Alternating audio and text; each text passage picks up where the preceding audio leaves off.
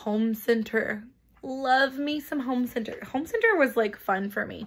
Um, I have made a laundry mat. I sent you the prop box.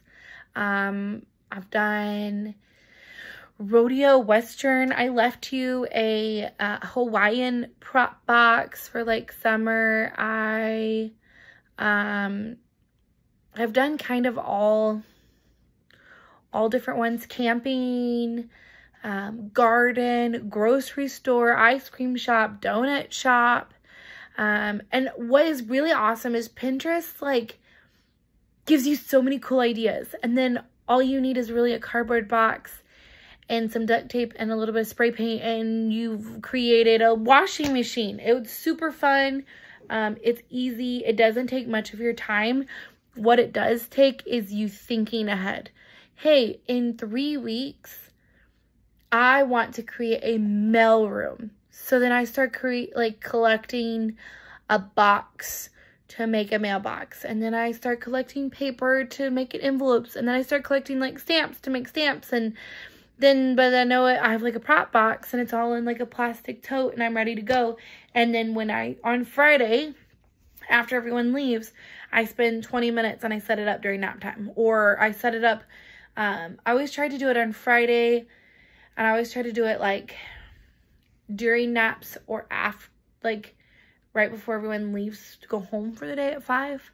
Um, but a lot of times I have to do it during naps. And so they would have, they would get to play with it for a little bit that afternoon. But then on Monday they'd come back and it's fresh and it's new. So I always tried to keep like sounds horrible because I don't like Disney, but like the magic alive.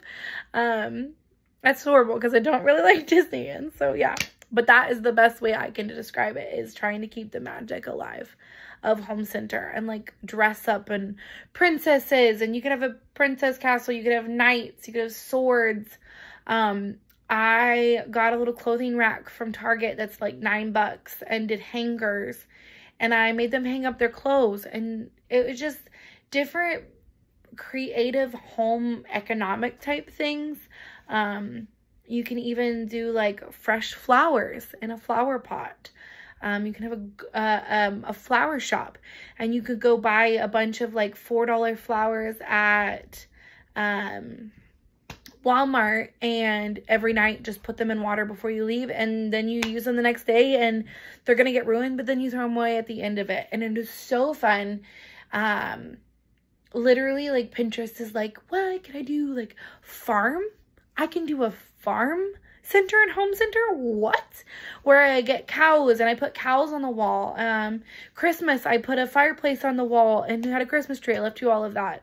Um, and let them do fake, fake presents under the tree and had wrapping paper where they could pretend to wrap and tape and it just took, so you take everything out and then you put your center in. And it's just like using your imagination and also just knowing what is ahead and what you're doing. So always like being mindful in the back of the brain, like, oh, you know, four weeks from now, this is going to happen. Great. I know how to plan. You know what I mean? Or what I'm going to pull out or what I'm going to do.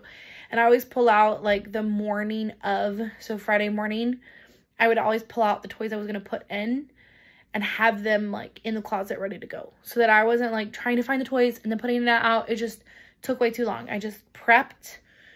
That whole day was kind of my turnover prep day. And that's when I like lay out my lesson plans and have it all ready to go.